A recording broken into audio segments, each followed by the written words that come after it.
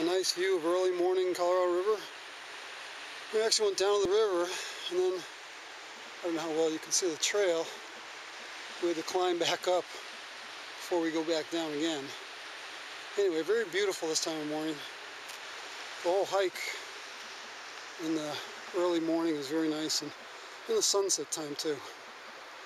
Anyway, we got to go up a little bit more, then go through some sand dunes, then the Phantom Ranch.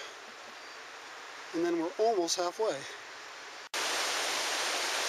Here's Rob coming across the the river.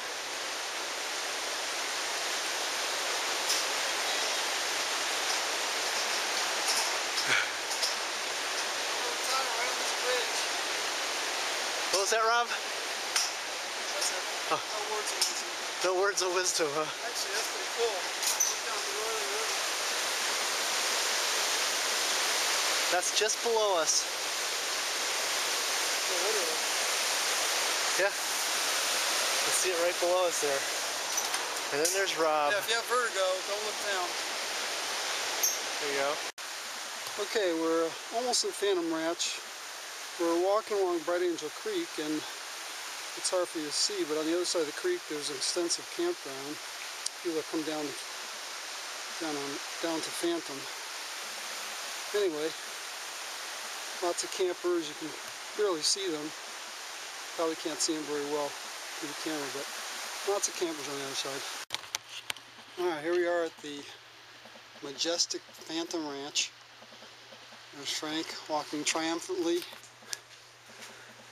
Uh, this is a series, basically it's a series of very rustic cabins uh, down here, not far from the river on the north side of the canyon.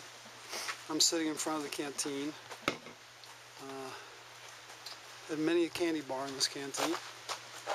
As well as dinners, you can spend the night uh, down here and actually eat the canteen. Uh, I think they've been serving the exact same meal, which everybody eats the same meal for like 50 years. Uh, anyway, it's very nice and very green. At least Arizona green. Uh, somewhat rustic. Usually lots of animals around, but I've only seen a couple of deer. Anyway, it's a little after 8. Still no sun on us. Uh, a little while we're going to walk through an area called the Box. You'll see that's pretty interesting.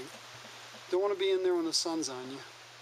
But as you can see the sun is starting to rise up.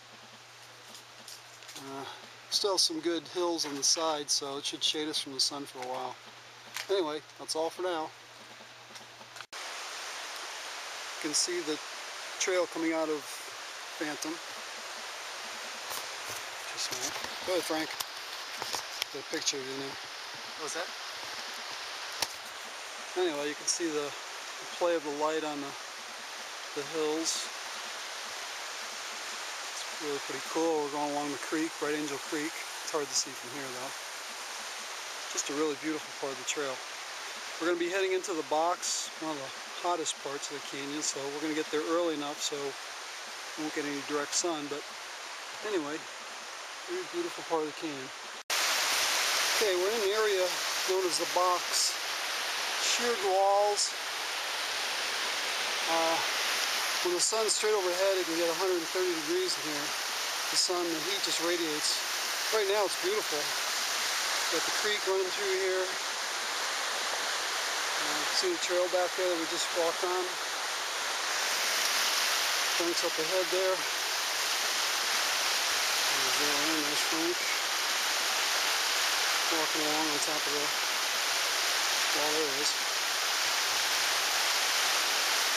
Anyway, really beautiful as long as the sun's not overhead, so sunny out for now.